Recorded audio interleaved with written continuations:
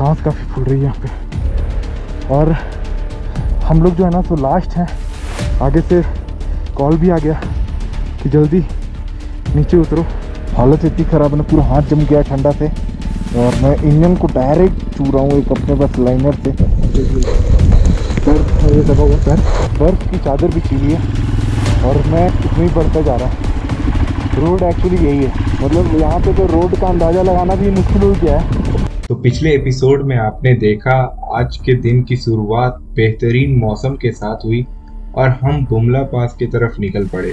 निकल कर कुछ ही ऊपर चढ़े और हमें बेहतरीन नज़ारे, प्रकृति की खूबसूरती, एक अलग नज़रिए से दिखी। और फिर हम पीटीसीओ लेक के किनारे कुछ पल गुजारने के बाद ऊपर बढ़े ही थे कि पूरी सफ़ेद बर्फ़ के बीच में काली सड़क। पहली बार कुछ ऐसे नज़ारे को देखते देखते हम फाइनली बुमला पास को पहुँचे, जहाँ इंडियन आर्मी के बलिदानों को और करीब से जानने को मिला। और अब उसके बाद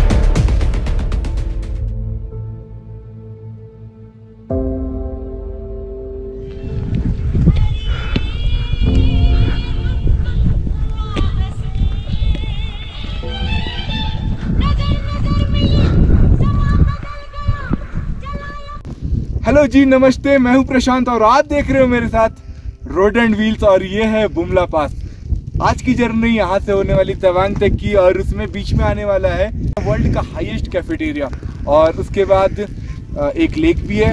एंड उसके बाद जो मैंने आपको दो वीडियो पहले प्रॉमिस किया था कि मैं दिखलाने वाला हूँ आपको तवांग की मोनेस्ट्री सो भी वहाँ भी जाएँगे। सो so, इस वीडियो को आगे जाने से पहले आप इस वीडियो को कर दो लाइक क्योंकि होने वाला है ज़बरदस्त व्यू इस वीडियो में क्योंकि आप देख रहे हो पूरा स्नोफॉल हो रहा है भाई। और अभी तक सब्सक्राइब नहीं किया ना तो सब्सक्राइब कर लो और बेल की नोटिफिकेशन बटन भी दबा दो, क्योंकि अभी भी ट्रिप जो है ना काफ़ी लंबा बचा हुआ है। सो इसी नोट के साथ वीडियो का स्टार्ट करते हैं। तो चलो मिलते हैं रोड पे डायरेक्टली आपसे गोप्रो मोड में। सो गाइस अभी सीन इधर का कुछ ऐसा है। मौसम कुछ ज़्यादा ही ख़राब हो गया। और साथ ही भी फूल रही क्योंकि यार पंद्रह हज़ार दो सौ फीट मामूली बात नहीं होती। तो यहाँ देखो इधर अनुज भाई की गाड़ी फंस गई और स्टार्ट नहीं हो रही। किसी तरह आप रोड पे निकालो, धक्का उक्का देंगे। देखते हैं। मेरी गाड़ी की क्या कंडीशन है?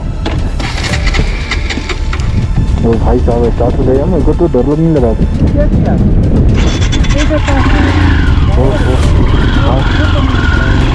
स्टार्ट हो गया चलते रहना भैया।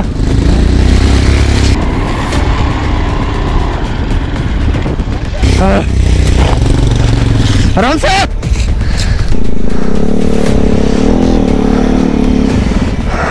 और बुमला से निकलते ही ये अंदाज़ा तो लग ही चुका था कि हमारी लगने वाला और वहाँ बचे भी थे हम तीन बाइकर्स हमारी पहली मंजिल बुमला के बाद वर्ल्ड की हाईएस्ट कैफेटेरिया थी और अभी मौसम धीरे धीरे बिगड़ता भी जा रहा लेकिन ये भी तो एक वन टाइम अचीवमेंट थी। ये सोचकर अंदर ही अंदर एनर्जी भी बढ़ती जा रही थी। और उसके बाद हम धीरे धीरे बढ़ने लगे आगे।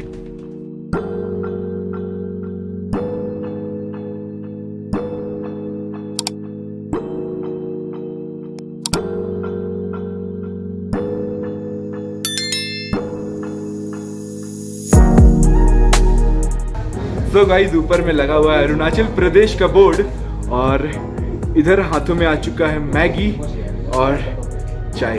मैं वर्ल्ड का हाईएस्ट कैफ़े में बैठ के मैगी और चाय खा रहा हूँ। और इधर ना जिस पे मैं फ़ोन टिकाया हुआ वो क्या है देख लो। इधर इधर अपनी ना मतलब ठंड का पूरा इलाज यहाँ पे कर रखे हैं भैया लोग। जब भी बुमला आ रहे हो, एक बार यहाँ आना तो बनता है। और यहाँ से ना मैंने कुछ सुवेनियर्स भी उठाए एक्चुअली फ्रिज मैग्नेट्स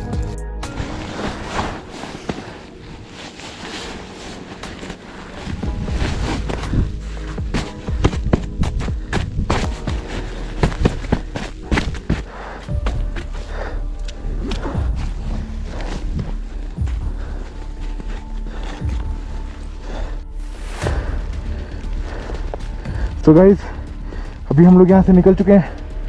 ये कैफ़े था वर्ल्ड का हाईएस्ट पे। और यार, सांस काफ़ी फूल रही है यहाँ पे। और हम लोग जो है ना सो लास्ट हैं।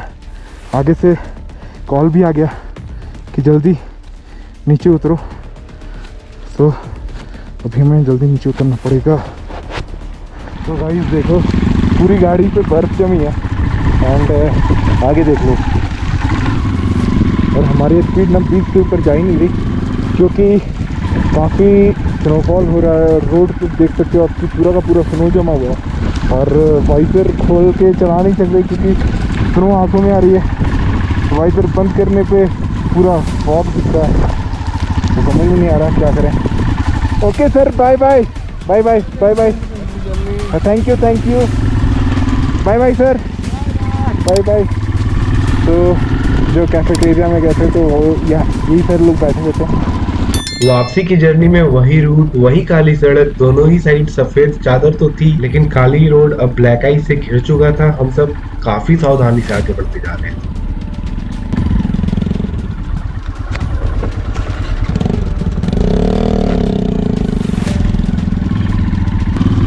तो ये मेरे लाइफ की पहली एक्सपीरियंस है बर्फ़ में गाड़ी चलाना। ओहो। ये भाई विंटर स्थिति से कम कुछ भी नहीं है यार ये। अरे यार, अरे अरे अरे। गाड़ी की चक्का तो ज़बरदस्त स्लीप कर रही है। अब जैसे कि उनके अभी देखा ना, बिल्कुल मेरे भी वैसे ही एकदम आराम आराम से जाना है। एक नंबर में डाल के। ब्रेक यूज़ ब्रेक यूज़ मत कीजिए।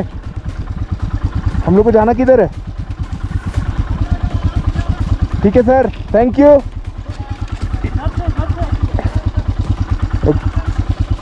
bye bye sir ठीक है सर थैंक यू एक तो बर्फ़ ने परेशान कर ही रखा है. ऊपर से ये रहा ऑफ़ रोडिंग यार, पूरा का पाँव पाँव गीला गीला ना हो जाए. हाँ. ये देखो यार. भाई साहब. ये अलग लेवल का एक्सपीरियंस है. अलग लेवल का थ्रिल है यार ये. बर्फ़ पे गाड़ी चलाना.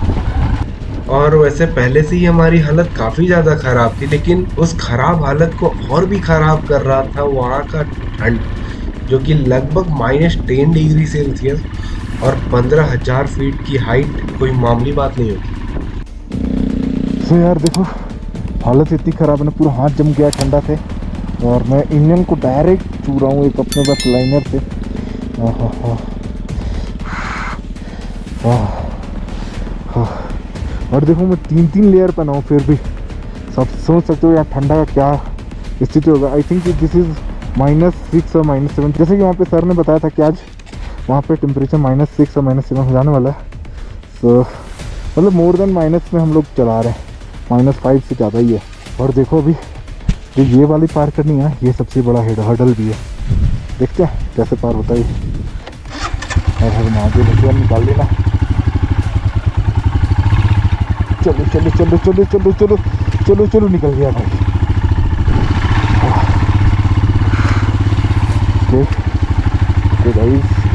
सो सो सो तो यहाँ से तो निकल गया।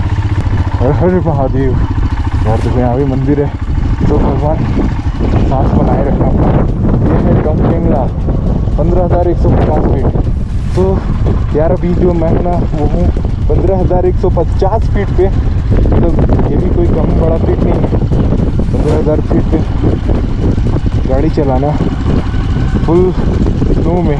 देखो, एक और प्रो टिप देता हूँ। अगर आप बर्फ़ में गाड़ी चला रहे हो ना तो अब ये डाउन हिल जा रहा है। और आपको ब्रेक बस उतना लेना है जिससे चक्का रुके ना। चक्का घूमते रहे। अगर चक्का रुक गया ना तो आप बहुत ज़्यादा स्लिप करने वाले हो। तो एक तो एक नंबर में डाल के सबसे लो गियर पे रखो अपने आप गाड़ी चलती रहेगी दस की स्पीड में और वही सेम स्पीड में हल्की सी ब्रेकिंग भी रखो नहीं वरना दस से ना ऊपर चली जाती है पैर ये दबा हुआ पैर। चलो उड़ो उड़ो बैक कर देते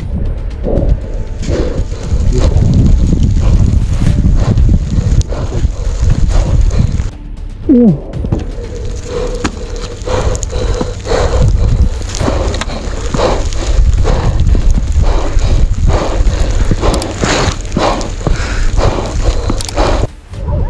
गाइस एक अपडेट दे देता हूँ। जैसा कि आपको देख के लग रहा होगा ये मिरर टूट गया। ये हैंडल थोड़ा सा बेंड हो गया। थोड़ा सा नहीं काफ़ी बेंड हो गया एक्चुअली सो so, ये हुआ क्या? ये जो स्लोप है ना यहाँ उतर रहा था। तो मेरी गाड़ी फॉल कर गई। और अनुज भाई की भी गाड़ी फॉल कर गई यार। सो आप सोचो तो कितना ज़्यादा बर्फ़ का लेयर बिछ चुका है। कोई नहीं, इसको जाके तवांग में ठीक करा लिया जाएगा। हम उतरे या तुम उतरोगे? जाओ।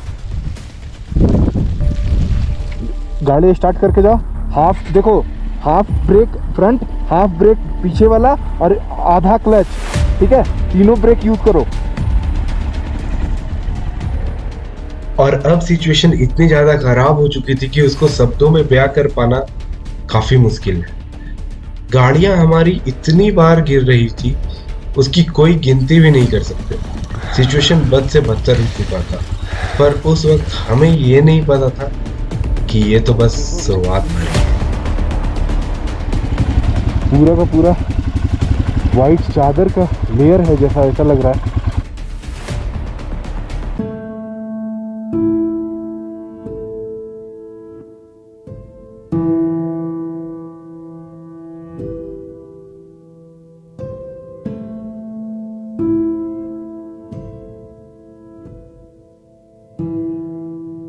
बता रहे हम लोग ना यहाँ पे बहुत डेंजर सिचुएशन में फंसे हैं लेकिन वो भी हंस रहे हैं मज़ा ले। देख रहे हैं बर्फबारी अभी तक हो रही है कितना किलोमीटर है अरे लाइफ टाइम एक्सपीरियंस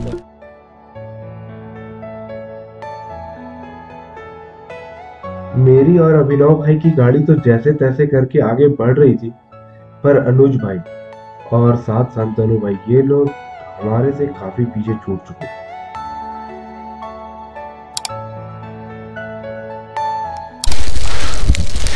शाम के पाँच बज के नौ मिनट हो रहे हैं। अभी भी हम तवांग से इक्कीस किलोमीटर की दूरी पर हैं।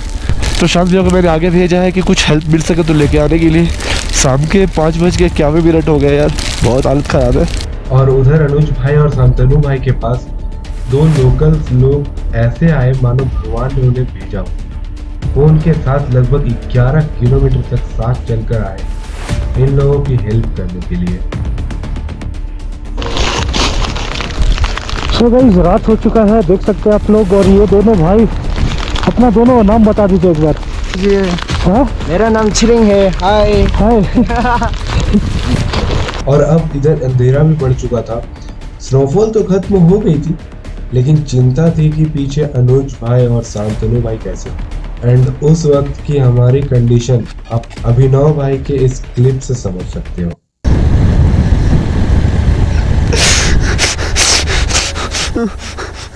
और हम लोग धीरे धीरे फ़र्स्ट आर्मी कैंप तक पहुँचे जो कि लगभग तवांग से चार किलोमीटर के डिस्टेंस पे होगा। और वहाँ पे हम लोगों ने आर्मी के मदद से काफ़ी जगह पे कोऑर्डिनेट्स करवाए और अनुज भाई लोगों की कंडीशन जानने की कोशिश की लेकिन वहाँ पे कुछ भी पता नहीं चल रहा था। गाड़ियाँ कोई नहीं आ पा रहा था पूरा बर्फ़ की वजह से हम लोग वाई जंक्शन के बाद वो लोग बहुत दूर तक आया है। कुछ ही समय के बाद शांतनु भाई भी पहुँच चुके थे सेफली वहाँ पे ही हमें आर्मी वालों ने रात का डिनर ऑफ़र किया और वहाँ से डिनर करने के बाद हम सेफली होटल पहुँच चुके थे। कल बुमला के बाद आज है दूसरा दिन और कल आपने देखा ही कि क्या कैसा सीन रहा। मतलब ये जो था ना लाइफ टाइम एक्सपीरियंस रहा कल का। थर्टी किलोमीटर एट आवर्स की जर्नी एक जगह ऐसा आया था ना जहाँ पे बाइक इनकी कम से कम 45 टू 50 के स्पीड में धड़ाम से एकदम स्लोपिंग पे गई और धड़ाम से गिर गई। उस वक्त का बात बता रहा हूँ। देखो अब तो नेक्स्ट डे है और अभी सीन क्या ना कि अभी कल वाला जो डरावना पल था ना अब हम लोग उसको एंजॉय कर रहे हैं मतलब। तो सीन अभी क्या था वो वाला पल हम आपको दिखलाते हैं। पीछे से मुझे आवाज़ आई तो मुझे लगा मुझे रुकने को बोल रहे हैं। हम जैसे ही रुके टर्न की इनकी गाड़ी रॉकेट के और वुई, हम बोले भाई कहाँ जा रहा है? वो भी पूरा आइस में सबसे कम बार फॉल मेरी नुकसान सबसे ज़्यादा पहली बार में देखो यहाँ पे। देखो ये भैया के हैंडल जो है ना यहाँ से मुड़ गई हिमालयन की हैंडल एंड इस मुड़े हुए हैंडल बार में ये 25 किलोमीटर स्नो में ऐसी गाड़ी चला। इसी नोट के साथ ये वाली नई एक्सपीरियंस को यहाँ तक ही एंड करते हैं। मिलते हैं नेक्स्ट ब्लॉग में। तब तक के लिए टेक फन